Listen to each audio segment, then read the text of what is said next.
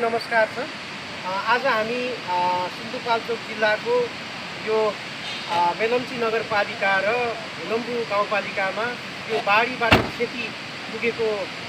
क्षेत्रहरू अवलोकन गर्न आइराखेका छौँ र यो सँगै हामीले यो हेलम्बु गाउँपालिका वडा नम्बर दुईमा चाहिँ यो बाढीबाट चाहिँ क्षति पुगेका बाढीबाट चाहिँ बाढी पीडित हुन पुगेका र चाहिँ आफ्नो घरबार चाहिँ सबै गुमाउन पुगेका चाहिँ यहाँको